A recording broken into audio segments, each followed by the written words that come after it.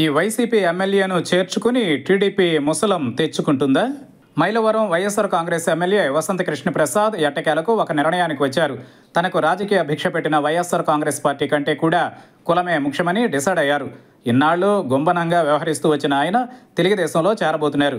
మరో రెండు రోజుల్లో చేరతారని తెలుస్తోంది. అయితే ఎమ్మెల్యే వసంత కృష్ణప్రసాద్ తెలుగుదేశం పార్టీకి ముసలంగా మారి దెబ్బ కొడతాడా?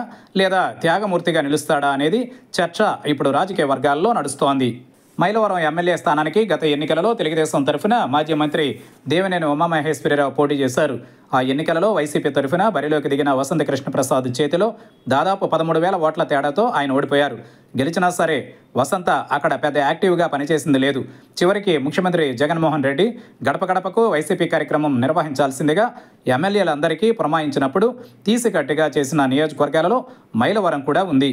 పార్టీ కార్యక్రమాలను ధిక్కరిస్తూ పెడసరంగా అంటే ముట్టనట్లుగా వ్యవహరిస్తూ వచ్చారు. జోగి రమేష్తో తనకు ఉన్న విభేదాలను ఆయన భూతద్దంలో పెట్టి ప్రచారం చేసుకుంటూ గడిపేవారు. ముఖ్యమంత్రి స్వయంగా జోక్యం చేసుకుని స్వయంగా ఎన్నిసార్లు బుజ్జగించి సర్ది చెప్పే ప్రయత్నం చేసినా ఆయన మెట్టు దిగలేదు. తీరా కొన్నాళ్ళుగా పార్టీకి దూరంగా మెలుగుతున్న వసంత తెలుగుదేశంలో చేరబోతున్నారు. అయితే అక్కడ ఆయనకు టికెట్ దక్కుతుందా అనేది అనుమానమే. గత ఎన్నికలలో టీడీపీ తరఫున ఓడిపోయిన దేవినేని ఉమ మళ్ళీ పోటీ చేయడానికి చాలా కాలంగా పనిచేసుకుంటున్నారు. ఇప్పుడు హఠాత్తుగా వసంత తెర మీదకు రావడం ఆయనకు మింగుడు పడకపోవచ్చు. వసంత కృష్ణప్రసాద్ తనకు అక్కడే మళ్ళీ టికెట్ కావాలనే పట్టుదలతో టీడీపీలోకి వెళితే గనుక ఆ పార్టీలో ముసలం పుట్టినట్లే. ఆయన చేరిక వల్ల పార్టీకి ఒరిగేది ఉండదు. దేవినేని ఉమ అలకతో అంతర్గత కుమ్మలాట్లు పెరుగుతాయి.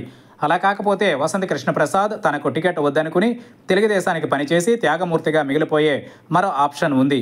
అయితే టికెట్ వద్దనుకున్నంత మాత్రాన దేవినేని ఉమా విజయానికి మనస్ఫూర్తిగా సహకరిస్తారా? లేదా ఉమా ఓడిపోతే భవిష్యత్తులోనైనా తనకు టికెట్ దక్కుతుందని వ్యూహాత్మకంగా ఉంటారా అనేది తెలియడం లేదు.